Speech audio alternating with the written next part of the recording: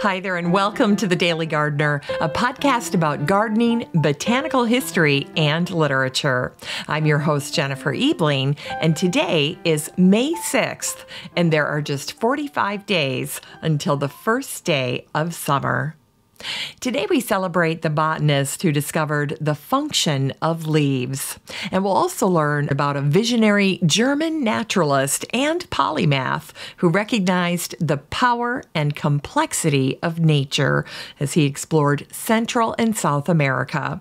We'll hear an excerpt about the power of gardening to turn a gardener into a philosopher. And we grow that garden library today with a book about the best way, the very best way to cook vegetables from the garden. This is a cookbook that teaches how to make individual vegetables shine. And it's a cookbook that every vegetable gardener should have in their kitchen. And then we'll wrap things up with a fun little story about the winning entry at the 1917 Raisin Day Parade. But first, here's today's curated news.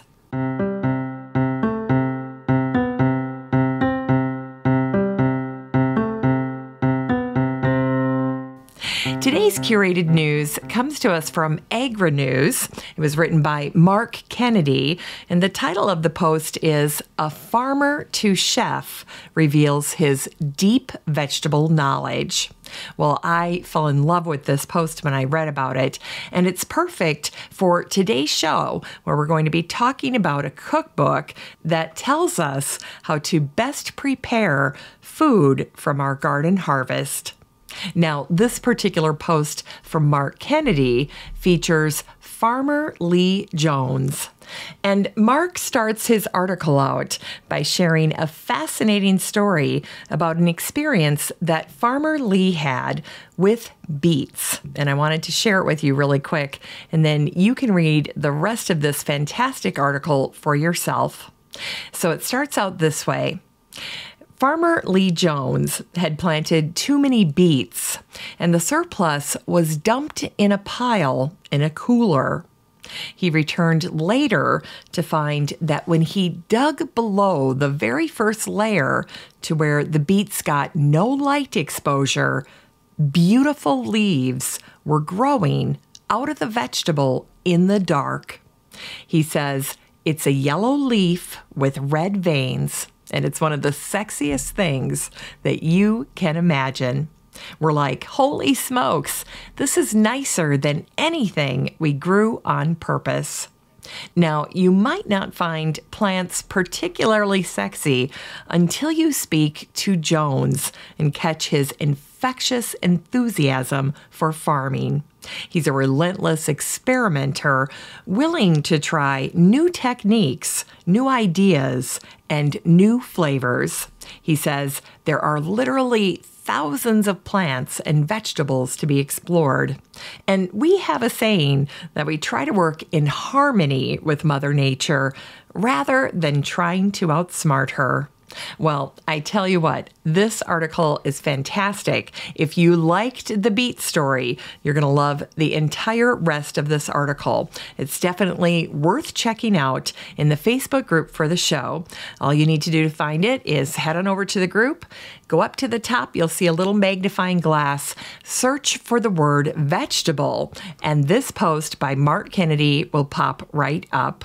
Now, if you're not in the group, you have a standing invitation. You can join at any time. And again, it is so easy to join this group. All you need to do is head on up to the search bar where you might be searching for an old high school friend and instead type in the words Daily Gardener Community and then request to join, and then I'll admit you into the group. And it's just that easy. And I can't wait to meet you there.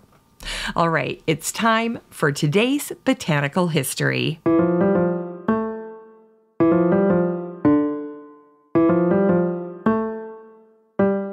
Here's botanical history for today, May 6th. Today is the birthday of Jean Senebier, a Swiss pastor and botanist. He was born on this day, May 6th, in 1742. Where would we be without John Senebier? still breathing, but lacking the knowledge that carbon dioxide is consumed by plants, and in turn, that plants produce oxygen as part of the process of photosynthesis. In a nutshell, Senebier's work was crucial because he had learned the function of leaves, capturing carbon for food. Before Senebier, the purpose of leaves and what they did for plants and people was unknown. It was Jean Senebier who said, Observation and experiment are two sisters who help each other. And it was on this day, May 6th, in 1859, that the naturalist and botanist Alexander von Humboldt died. He was 89 years old. When it came to his expeditions, Alexander didn't travel alone. In 1799, Alexander was accompanied by the French botanist Aimé Bonpland. In 1806, Friedrich Georg Weitsch painted Alexander's portrait. This was two years after he'd returned from his five year research trip through Central and South America. Friedrich painted a romantic, idealized vista of Ecuador as the setting for Alexander's painting. Alexander had climbed the Chimborazo mountain in Ecuador, believed at the time to be the highest mountain in the world. So perhaps Friedrich imagined Alexander to be viewing the landscape from Chimborazo. Surrounded by a jungle paradise, a large palm shades Alexander's resting spot. In the painting, a very handsome Alexander is seated on a large boulder. His top hat is resting upside down on the boulder behind him, and Friedrich shows the 37 year old Alexander wearing a puffy shirt that would make Seinfeld jealous, a pink orange vest, and tan breeches. In Alexander's lap, he's holding open a large leather bound flora that he's working on, and in his right hand, he has a specimen of Rhexia speciosa, which today we know as Meriania speciosa. A large barometer leans against the boulder in the lower left hand corner of the painting, and that little instrument symbolizes Alexander's dedication to measuring environmental data while collecting and describing plants.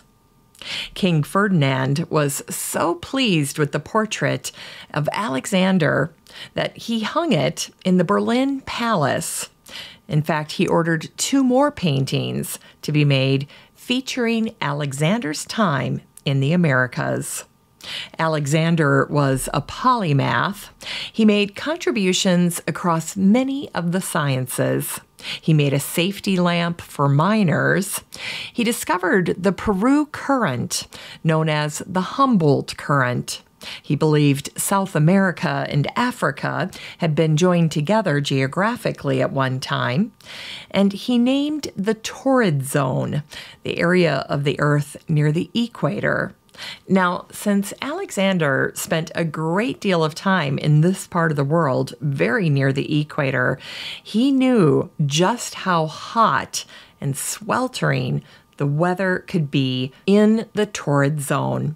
And so the torrid zone is appropriately named because torrid means hot, blistering, or scorching.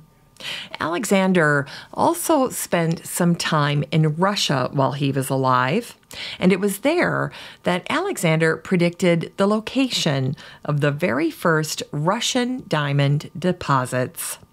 Alexander was also a pragmatist. It was the great Alexander von Humboldt who said, Spend for your table less than you can afford, for your house rent just what you can afford, and for your dress more than you can afford. And every time I think about that quote, I think back to that portrait of Alexander and his puffy shirt and the orange vest and how wonderful he looks. And it's very clear that the way he looked was very important to him. Now, Alexander was a thinker, and he developed his own theory for the web of life. He wrote, the aims that I strive for are an understanding of nature as a whole, proof of the working together of all the species of nature. In 1803, in Mexico, Alexander wrote, Everything is interaction. It's time for today's unearthed words.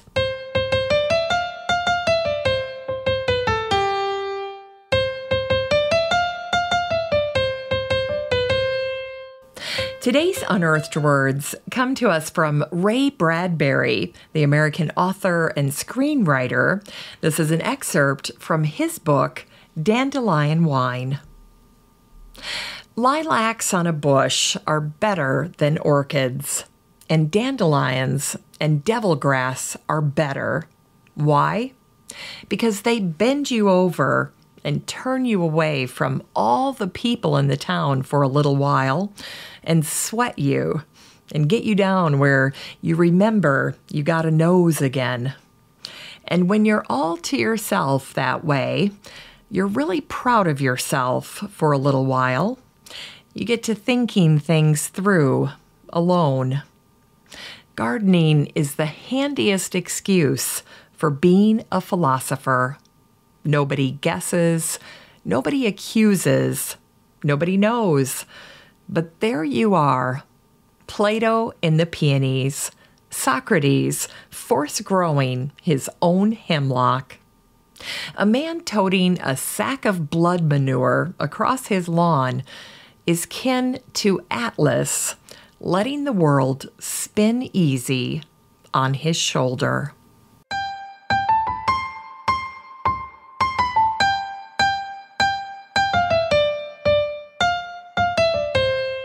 It's time to grow that garden library with today's book, Eating from the Ground Up by Alana Chernila. This book came out in 2018, and the subtitle is Recipes for Simple, Perfect Vegetables, a cookbook. In this book, Alana says vegetables keep secrets, and to prepare them well, we need to know how to coax those secrets out. Alana divides her cookbook into these key sections barely recipes, meaning recipes that really let the vegetables shine. These generally have few ingredients. A pot of soup, so, great soups to make with vegetables, one of my favorite sections. Too hot to cook, warmth and comfort, and celebrations and other excuses to eat with your hands. I love those sections. Alana's cookbook was inspired by the question but what's the best way to eat a radish? Alana was at a booth at a farmer's market. Here's what she wrote one side of the table held a tower of radish bunches, and the other a basket of bagged baby arugula. When my first customer held a bunch of radishes and asked me for direction, I did my best to answer. Throw them into a salad? Slice them up and dip them into hummus? Not enamored with her lackluster response, Alana went home and experimented. She writes Next Saturday, when someone asked me my favorite way to eat a radish, I was ready. Make radish butter, chop them up fine, and fold them into soft butter with some crunchy salt, parsley, and a little lemon juice. I think the whole town ate radish butter that week. Each week that first summer, I'd take vegetables home from one market to prepare for the next, studying up for the following week's questions. The result was this cookbook. Isn't that fantastic? This book is 272 pages of vegetable mastery in the kitchen. You can get a copy of Eating from the Ground Up by Alana Chernila and support the show using the Amazon link in today's show notes for around $5. But I just want to warn you, there are not many copies at that price point. So if this cookbook sounds fantastic to you, you're going to want to jump on that offer.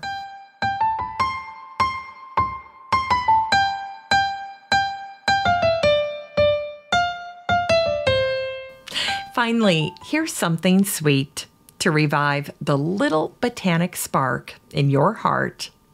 It was on this day, May 6th, in 1917, that the Fresno Morning Republican shared a full page story about the raisin industry.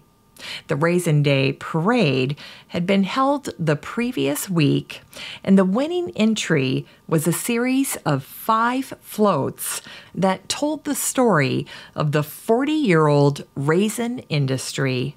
Here's an excerpt. The first float showed the pioneer and his family after their journey from the east to the fertile valley of the San Joaquin. The pioneer's vision was portrayed by a float in advance. Then came the realization of his vision with the little home and the raisin grapevines.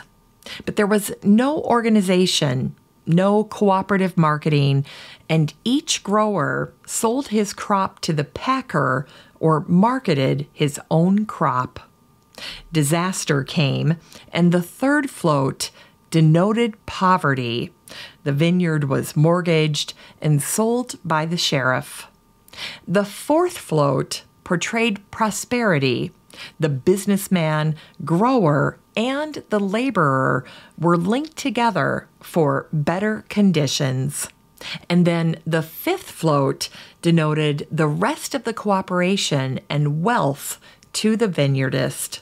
The original Sun-Maid Raisin Girl, Miss Lorraine Collett, was on this float. Thanks for listening to The Daily Gardener. And remember, for a happy, healthy life, garden every day. The Daily Gardener is produced in lovely Maple Grove and Wyoming, Minnesota. If you want to read today's show notes, just head on over to thedailygardener.org. And while you're there, be sure to sign up for my free Friday newsletter. And don't forget that you have a standing invitation to join the free Facebook group for listeners of the show. Just search for Daily Gardener Community the next time you're on Facebook and request to join. Last but not least, you always get in touch by emailing me at jennifer at thedailygardener.org. I'm your host, Jennifer Ebling, and as always, have a great day in the garden, and we'll see you tomorrow.